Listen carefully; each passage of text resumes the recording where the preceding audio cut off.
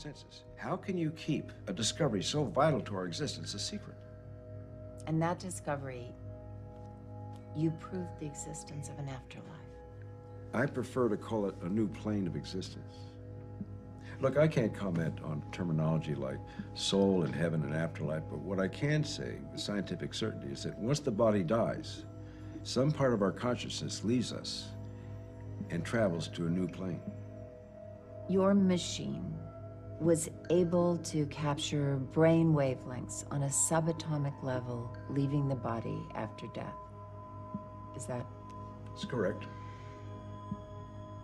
where do those wavelengths go? My point is, a new plane of existence is out there. Yes, that is no longer in dispute, but you can't tell us what that is exactly. When you see a train leave the station, do you need to know where it's going to understand that you just saw it leave? It's a tough pill to swallow. At one point, so was the Earth being round.